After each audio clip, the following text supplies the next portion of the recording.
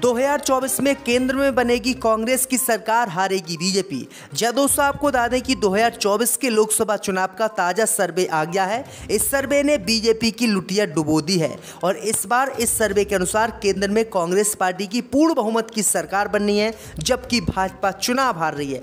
दरअसल आपको बता दें कि देश की जनता का मूड इसलिए बदला क्योंकि कांग्रेस पार्टी ने पहले तो एलपीजी जो गैस सिलेंडर है, उसको केंद्र में कांग्रेस की सरकार बनने के बाद पाँच सौ में देने का ऐलान किया। उसके बाद अब कांग्रेस पार्टी ने ऐलान किया है कि अगर 2024 में उनकी सरकार केंद्र में बनती है तो वो पेट्रोल, डीजल को साठ रुपये प्रति लीटर कर देंगे। यानी साठ रुपये प्रति लीटर पेट्रोल मिलेगा आपको और साठ रुपये प्रति लीटर ही डीजल मिलेगा, जो कि बीजेपी सरकार में सौ रुपये मिल रहा है। तो ये बड़ी अपडेट आ रही, जैसे ही कांग्रेस पार्टी ने ये घोषणा की, उसके बाद देश की जनता का मूड बदल गया और देश की जनता ने रातों रात डिसाइड कर लिया कि इस बार केंद्र में कांग्रेस की सरकार लाना है। और उसी के अनुसार एक सर्वे आया है। इस सर्वे में पूर्ण बहुमत की कांग्रेस की सरकार बननी है। तो आपको इस सर्वे को हम बता देते तो वीडियो को आप अंत तक देखते रहिएगा।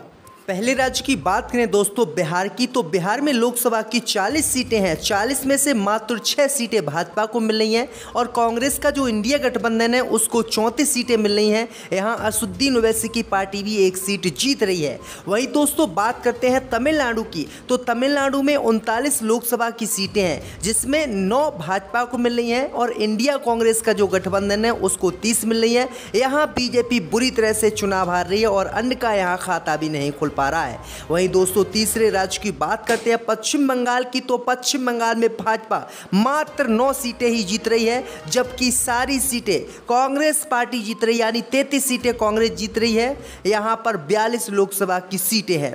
वहीं दोस्तों, बात करते हैं उत्तर प्रदेश की। तो उत्तर प्रदेश में 80 सीटें हैं। 80 में से सैंतालीस बीजेपी को जा रही हैं। तैतीस सीटें कांग्रेस गठबंधन को और एक सीट इसी तैतीस में असुद्दीन ओवैसी की पार्टी भी जीत रही है और अन्य का यहाँ पर खाता भी नहीं खुल पा रहा है। यानी उत्तर प्रदेश में बीजेपी काफ़ी अच्छा प्रदर्शन कर रही है। वहीं राजस्थान की बात करें दोस्तों तो राजस्थान में 25 सीटें हैं। 25 में से 14 सीटें बीजेपी को जा रही हैं 11 सीटें इंडिया कांग्रेस गठबंधन को और अन्य का यहाँ पर खाता भी नहीं खुल रहा है। यानी राजस्थान में बीजेपी बस अच्छा प्रदर्शन करती हुई दिखाई दे रही है। भाई दोस्तों, अगर हम बात करें गुजरात की तो गुजरात में 26 सीटें हैं। 26 में से 16 बीजेपी को मिल रही हैं 10 कांग्रेस को मिल रही हैं और अन्य का यहाँ पर खाता भी नहीं खुला है, क्योंकि गुजरात से प्रधानमंत्री मोदी खुद भी आते हैं।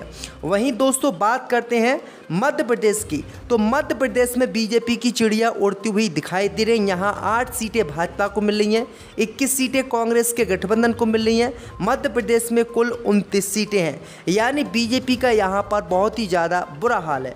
वहीं दोस्तों, बात करते हैं कर्नाटक की। तो कर्नाटक में भी भाजपा की लुटिया डूब रही है। यहाँ मात्र सात सीटें ही बीजेपी को मिल रही हैं। कांग्रेस को यहाँ पर 21 सीटें मिल रही हैं। कर्नाटक में कुल मिलाकर 28 लोकसभा की सीटें हैं। वहीं दोस्तों, बात करें हम उड़ीसा की। तो उड़ीसा में दोस्तों 21 सीटें हैं। 21 में से चार बीजेपी को मिल रही हैं। 11 कांग्रेस गठबंधन को मिल रही हैं। अन्य को यहाँ पर छः मिल रही हैं। बीजेपी को अन्य से भी कम मात्र चार सीटों पर ही संतोष होना पड़ रहा है। वहीं दोस्तों, बात करते हैं असम की। तो असम में चौदह सीटें हैं। चौदह में से भाजपा को बारह सीटें मिल रही हैं और जो कांग्रेस का इंडिया गठबंधन है, उसको दो सीटें मिल रही हैं। अन्य का यहाँ पर खाता भी नहीं खुला है, क्योंकि असम में काफ़ी अच्छा प्रदर्शन बीजेपी करती हुई दिखाई दे रही है। वहीं दोस्तों, बात करते हैं केरल की। तो केरल में 20 सीटें हैं। 20 में से भाजपा का यहाँ खाता भी नहीं खुल पा रहा है। कांग्रेस गठबंधन को 16 सीटें मिल रही हैं। अन्य को यहाँ पर चार सीटें मिल रही हैं। यानी केरल में बीजेपी बिल्कुल ख़त्म है। वहीं दोस्तों, दिल्ली की बात करें तो दिल्ली में सात सीटें हैं। सात में से भाजपा को चार मिल रही हैं। कांग्रेस को यहाँ तीन सीट मिल रही हैं और अन्य का यहाँ पर खाता भी नहीं खुल रहा है।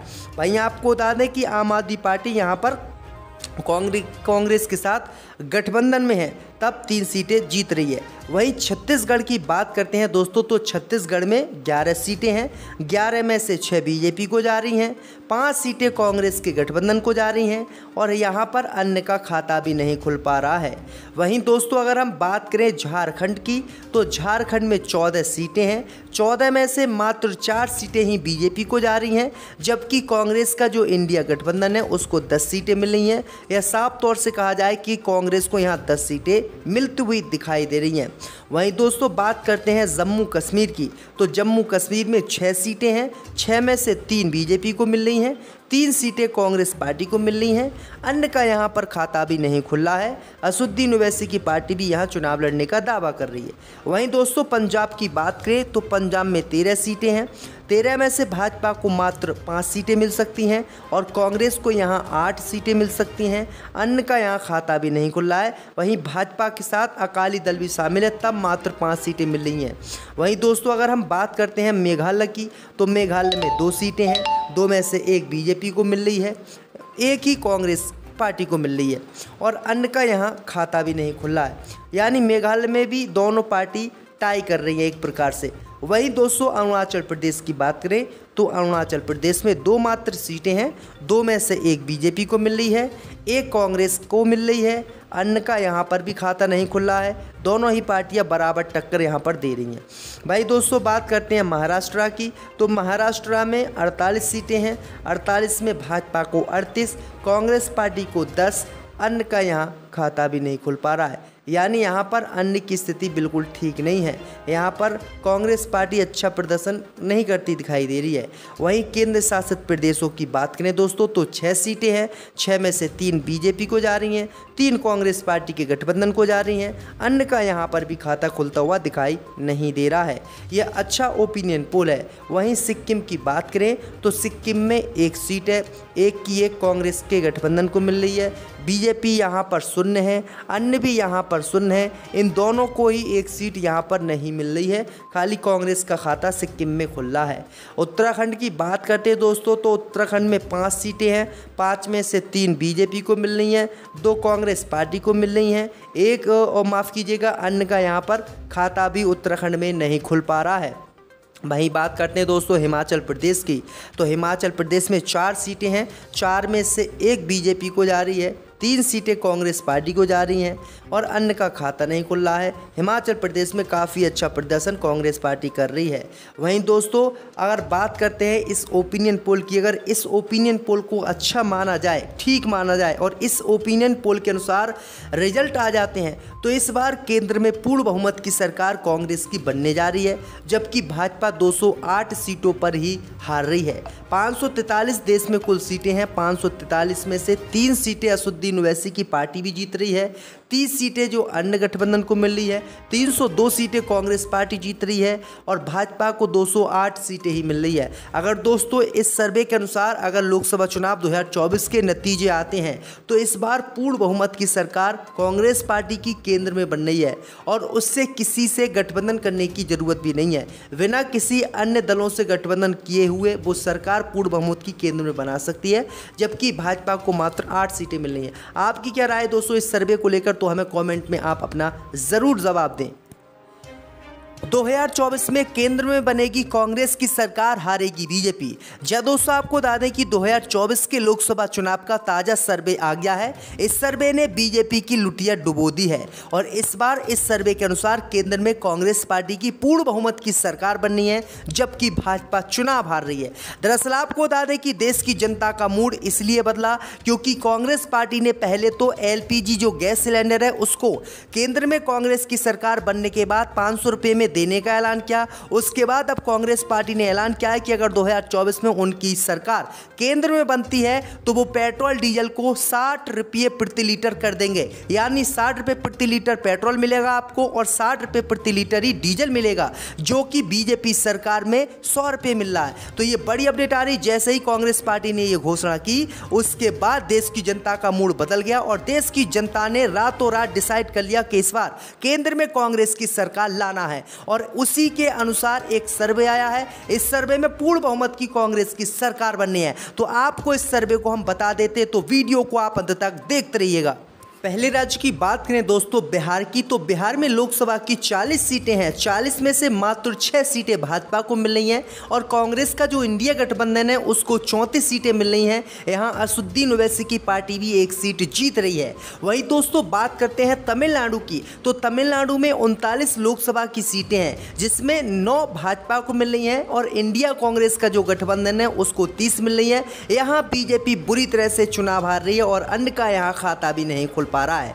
वहीं दोस्तों, तीसरे राज्य की बात करते हैं। पश्चिम बंगाल की तो पश्चिम बंगाल में भाजपा मात्र नौ सीटें ही जीत रही है, जबकि सारी सीटें कांग्रेस पार्टी जीत रही यानी तैतीस सीटें कांग्रेस जीत रही है। यहाँ पर बयालीस लोकसभा की सीटें हैं।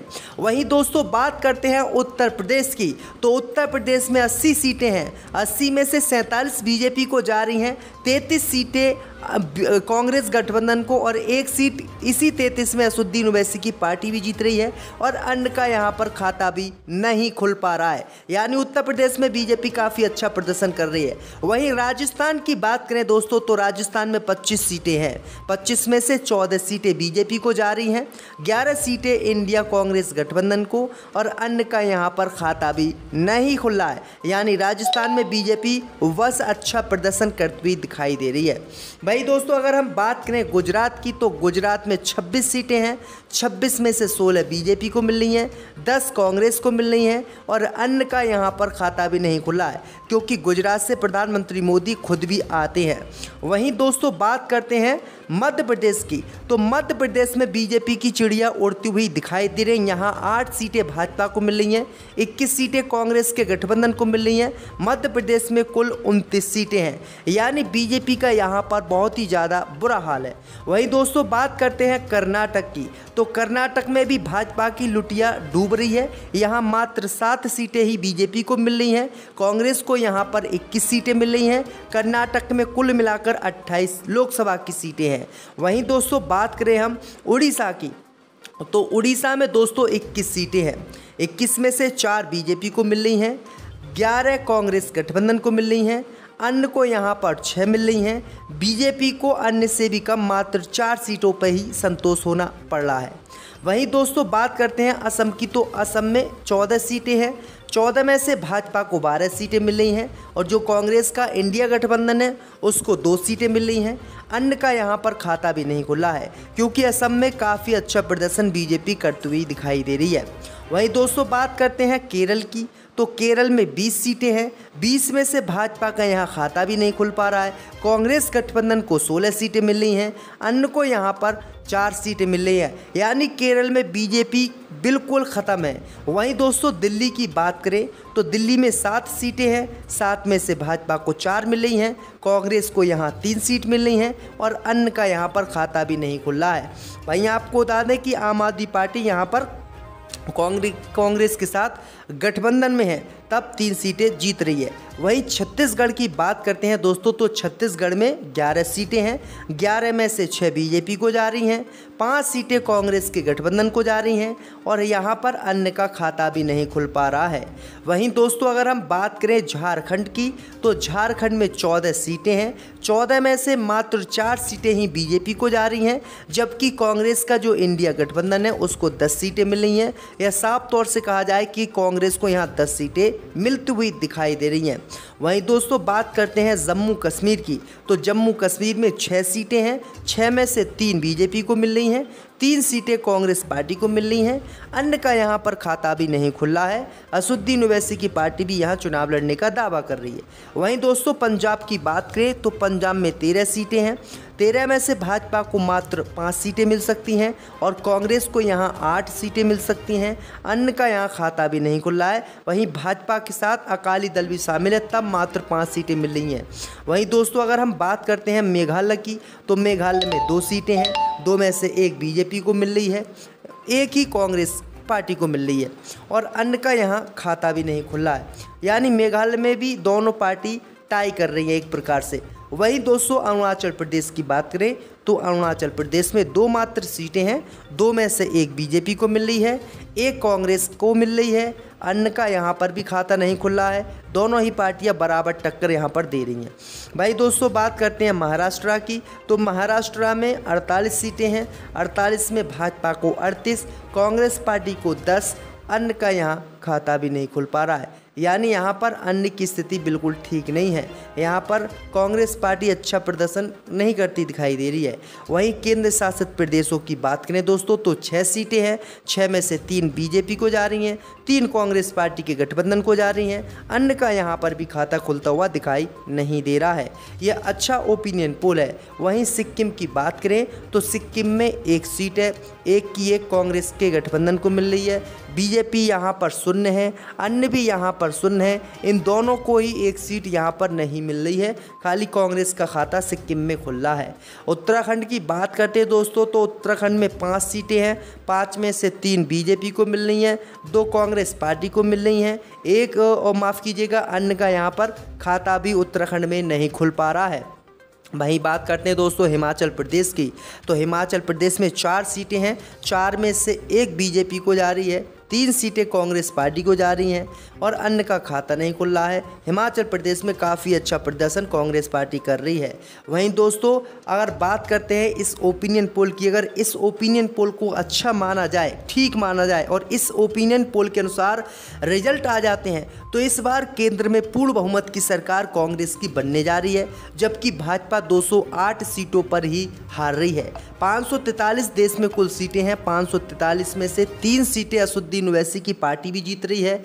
तीस सीटें जो अन्य गठबंधन को मिल रही है 302 सीटें कांग्रेस पार्टी जीत रही है और भाजपा को 208 सीटें ही मिल रही है। अगर दोस्तों, इस सर्वे के अनुसार अगर लोकसभा चुनाव 2024 के नतीजे आते हैं तो इस बार पूर्ण बहुमत की सरकार कांग्रेस पार्टी की केंद्र में बन रही है और उससे किसी से गठबंधन करने की ज़रूरत भी नहीं है। बिना किसी अन्य दलों से गठबंधन किए हुए वो सरकार पूर्ण बहुमत की केंद्र में बना सकती है, जबकि भाजपा को मात्र आठ सीटें मिल रही हैं। आपकी क्या राय दोस्तों, इस सर्वे को लेकर? तो हमें कमेंट में आप अपना